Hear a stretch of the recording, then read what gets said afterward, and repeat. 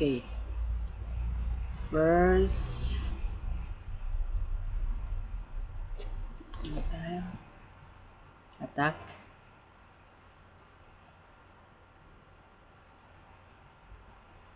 Then, hanapin mo yung yung hero.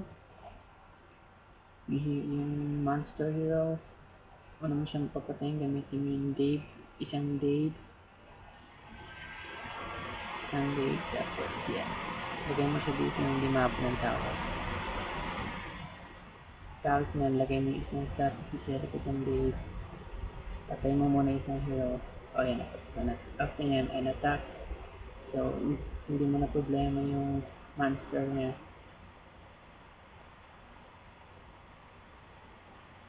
And attack ulit.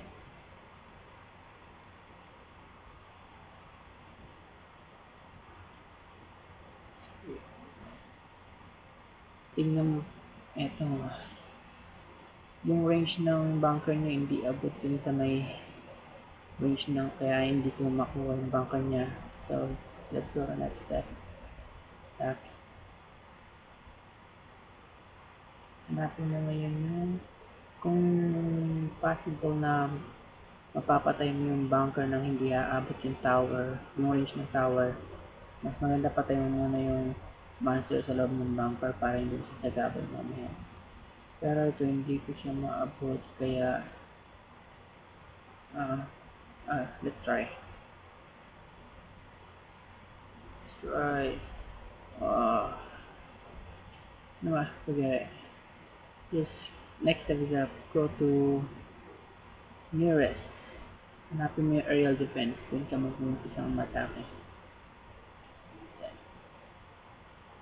Lalagay ko ngayon dyan. Hmm, okay, 7 or 10.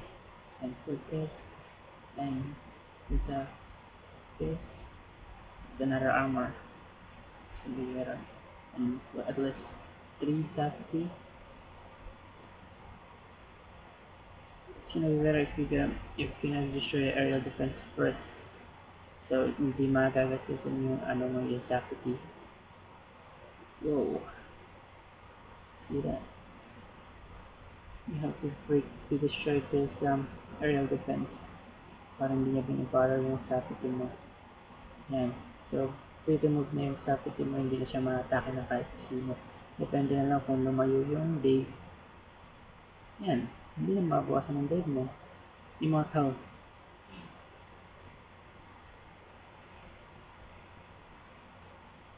Isa isa my technique.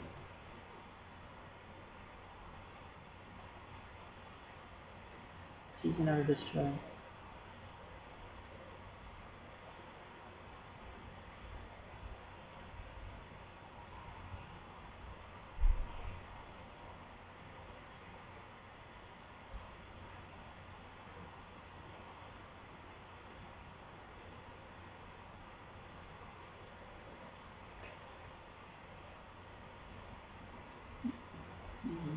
Nabawasan yung tatlong profit sa ko kasi hindi ko kagad na-destroy yung aerial defense. Pero at least tatlo lang okay na rin yun. Pero kung napatong na yung aerial defense, hindi siya mababawasan.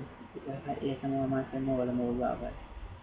Kaya, pwede ka ulit matake sa ibang base.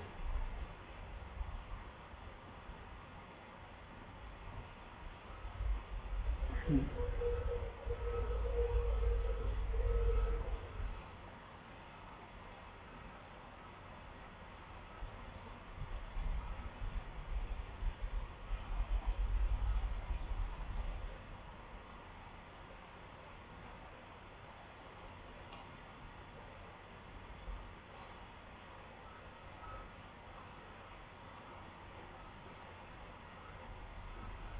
前